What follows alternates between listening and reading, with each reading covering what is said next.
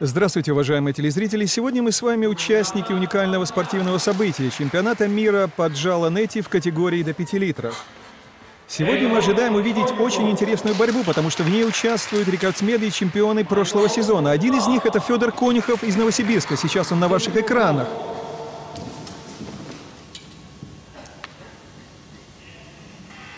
Итак, внимание, индийский спортсмен Патанджали уверенно берет в руки нетипот и пытается выйти вперед. Прошу обратить внимание на необычную технику китайца Лувинга. Майкл Кларк отрывается от Федора. Конюхов сокращает разрыв. Благодаря уникальной технике свободного дыхания, глубокого дыхания, в которой Федор особенно силен.